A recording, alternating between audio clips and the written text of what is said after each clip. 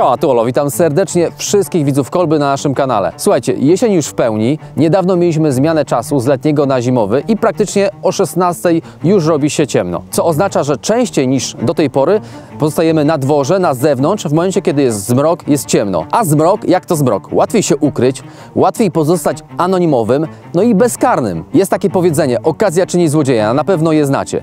To ja je lekko sparafrazuję i powiem, że zmrok czyni okazję, czyli po prostu w momencie, kiedy jest zmrok, ludzie, którzy mają złe zamiary, czują, że mają większe szanse zrealizować swoje niecne plany. Słuchajcie, ale też nie możemy wpaść w paranoję. W momencie, kiedy wychodzimy z pracy, 16-17, już jest ciemno, jakaś szarówka i też nie możemy pozwolić, żeby strach wziął nad nami górę, żeby nas sparaliżował. Ale to, co możemy zrobić, to przygotować się psychicznie, fizycznie i sprzętowo na niespodziewane, nieprzyjemne sytuacje, które no niestety mogą nas spotkać. Taki mamy świat. Czy to będzie napastnik, który będzie chciał nas zaatakować, obrabować, czy pies jakiś e, zdziczały, ewentualnie jakaś gromada psów, musimy to potraktować jako przeszkodę, którą musimy po prostu pokonać. I właśnie dzisiaj będzie o tym odcinek.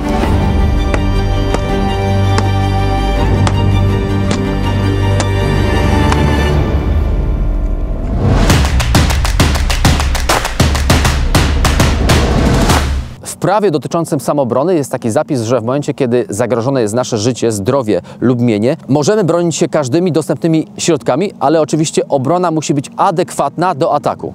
Czyli mówiąc przykładem, jeśli ktoś wyskakuje do nas z pięściami, o, albo jeszcze tak bardziej y, obrazowo, jeśli na przykład jakiś staruszek y, z kulawą nogą y, będzie chciał nas obrabować i wyskakuje do nas po prostu z gołymi pięściami, to nie możemy do niego po prostu strzelać z pistoletu, bo to będzie obrona nieadekwatna do ataku. Ale w momencie, kiedy wyskakuje na nas y, trzech rosłych y, osiłków i jeszcze przy okazji mają jakieś narzędzia, no to wtedy sytuacja jest już zgoła inna. Bardzo dobrym środkiem do samobrony jest gaz pieprzowy, Zrobiliśmy nawet o nim oddzielny materiał, ale czasem, słuchajcie, nawet gaz nie wystarcza lub może się po prostu zwyczajnie wypsikać, skończyć. I co wtedy? I dzisiejszy odcinek będzie o innym narzędziu do samobrony, równie skutecznym. Jest to pałka teleskopowa która jest naprawdę bardzo skuteczna, a szczególnie jest skuteczna w rękach osoby, która jest wprawiona. Taka pałka w odróżnieniu od gazu jest wprost proporcjonalnie skuteczna do osoby, która potrafi się nią e, posługiwać, więc od razu na wstępie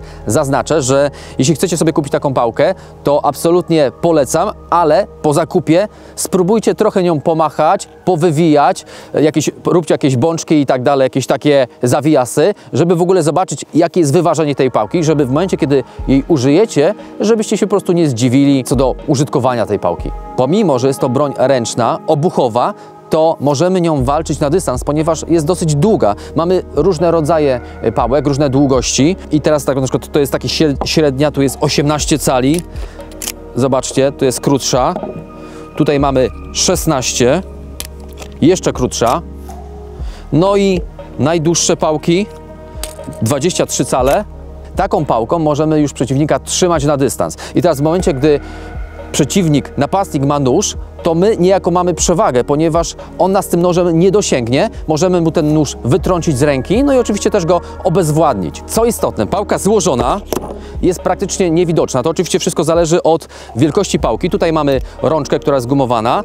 Ta rączka jest oczywiście krótsza niż, e, to jest naj, najkrótsza pałka. Tutaj mamy najdłuższą pałkę. Ta rączka jest trochę dłuższa, ale mimo wszystko taka pałka jest niewidoczna w momencie, gdybyśmy nie chcieli po prostu pokazywać, ujawniać naszego e, narzędzia. I w momencie, kiedy następuje zagrożenie, możemy taką pałkę wyjąć z kieszeni, wyciągnąć i jej po prostu użyć. I wtedy napastnik jest po prostu zaskoczony, bo myślał, że niczego nie mamy. Wiele osób może zadać pytanie, czy pałki teleskopowe są legalne i czy można ich używać. Odpowiedź brzmi tak, pałkę teleskopową możecie kupić w sklepie, możecie ją nosić i e, jest to absolutnie, absolutnie legalne. Przede wszystkim, z czego składa się pałka? Zobaczcie, to jest taki teleskop. On się składa z trzech, czasem czterech części. Mamy rękojeść gumowaną. W tej rękojeści chowa się jeden teleskop, a w nim się chowa kolejny, czy tam jeszcze kolejny. I to trochę wygląda tak jak antena od radia. Po prostu tak się chowa. Ta część jest pusta, ta część jest pusta, a ostatnia część jest, ten pręt jest już pełny i na końcu mamy taką główkę, oczywiście w pełni metalową. I właśnie dużą zaletą takich pałek jest, są ich gabaryty po złożeniu. Prostu pałka robi się mała, składamy wszystko do rękojeści, możemy trzymać w kieszeni, w, z tyłu spodni, jak tylko chcecie. I teraz bardzo ważny podział, jeśli chodzi o pałki teleskopowe. Dzielimy je na hartowane i niehartowane. Pałki niehartowane wykonane są po prostu ze stali, która jest niehartowana. Co za tym idzie, w momencie, kiedy będziemy uderzać w e, przedmioty, w napastnika, taka pałka się zegnie. Ona się pozgina, oczywiście w zależności od tego, jak mocno będziemy uderzać. Czasem się może zrobić taki banan. Ona będzie cały czas zachowywała swoje walory użytkowe, czyli cały czas będziemy taką pałką mogli uderzać, ale później już powiedzmy, że jak się obronimy, e, oddalimy, uciekniemy, to taką pałkę raczej nie złożymy. Będziemy musieli ją wyprostować. Czasem takie prostowanie pałki niehartowanej jest dosyć trudne i nie zawsze tą pałkę wyprostujemy na tyle, żebyśmy ją mogli później znowu złożyć. Sprawa diametralnie inaczej wygląda w przypadku pałek hartowanych, czyli tych, które ja akurat tutaj mam, zaraz opowiem o tych pałkach. Są to pałki, które są bardzo, ale to bardzo wytrzymałe. Uderzenia, nieważne w przeciwnika, czyli w miękką tkankę, czy nawet w twarde przedmioty, zaraz Wam to pokażę, nie powoduje zginania tych pałek. One są naprawdę solidne i to jest największa przewaga właśnie pałek hartowanych nad niehartowanymi. Oczywiście one są trochę droższe, ale powiem Wam, że warto dołożyć y, troszeczkę więcej i mieć pałkę, która jest naprawdę bardzo, bardzo wytrzymała. W momencie, kiedy się obronimy, możemy taką pałkę spokojnie złożyć, nawet jeśli byśmy y, uderzali o twarde przedmioty, ta pałka byłaby porysana, ona cały czas spokojnie się złoży i rozłoży i to jest bardzo istotne właśnie. Więc osobiście polecam pałki hartowane. I dzisiaj właśnie będzie o tych pałkach. Jest to czeski producent ESP, Euro Security Products, producent generalnie akcesoriów obronnych, między innymi właśnie najbardziej zasłynęli z tego typu pałek. Wszystkie pałki ESP posiadają bardzo fajny pokrowiec, taki trochę kordurowo-kydeksowy, dzięki któremu możecie sobie przytroczyć pałkę e, do no, gdzie chcecie, do, przede wszystkim do spodni, tak? Ale co jest istotne, możecie ją nosić e, w różny sposób. W ten sposób, tak, tak. I wtedy sposób noszenia takiej pałki przez Was będzie wygodniejszy i bardziej spersonalizowany. Możecie nauczyć się nosić taką pałkę tak, żeby bardzo szybko ją wyciągnąć. Ale słuchajcie, gadać można dużo. Pora przetestować tego typu pałki i pokazać Wam naprawdę na co jest stać. Zaczynamy, robimy testy, porozwalamy sobie parę rzeczy.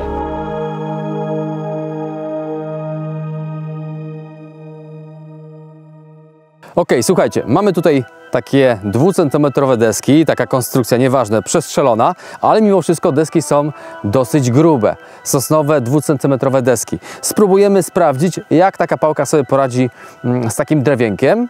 No już się boję o moją rękę, bo już wiem, że będzie mnie boleć, ale zaczynamy. Twarda!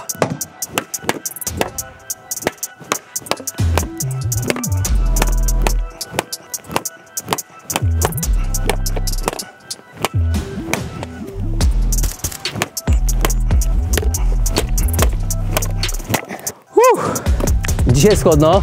Założyłem sobie fajną czapkę Harkila, ale powiem Wam, że już jest za ciepło.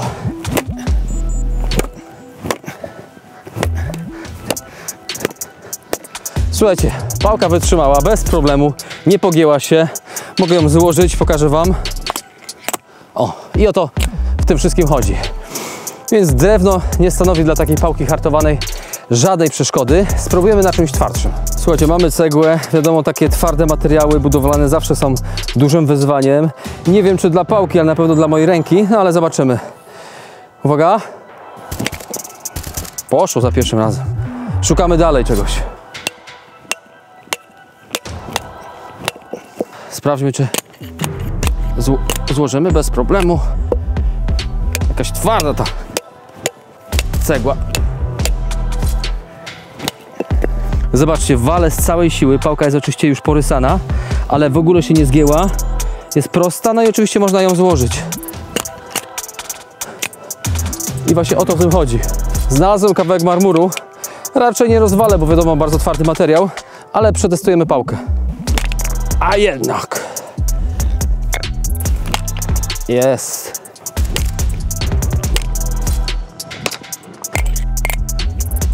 Kawałek kostki brukowej. Sam jestem ciekaw, czy uda się rozwalić. Próbujemy. O! Odprysk był konkretny, ale jeszcze się trzyma. Nie rozwalę, ale słuchajcie, walę z całej siły. A to, co jest istotne, to jest to, że pałka cały czas działa. No jak Wam się podobało? Ja bawiłem się świetnie, choć nie powiem, bo ręka trochę mnie boli od tego walenia, no ale pałka wytrzymała i to jest najważniejsze. Słuchajcie, na dzisiaj to będzie wszystko. Jeśli się podobało, dajcie łapkę w górę dla zasięgu, a jeśli jesteście pierwszy raz na naszym kanale, dajcie suba, wtedy nie ominą Was właśnie takie fajne testy, jak dzisiaj dla Was e, przygotowaliśmy. Jeśli macie jakieś pytania, to piszcie w komentarzach, ja na wszystkie odpowiem. A tymczasem ja się żegnam, cześć i do następnego odcinka.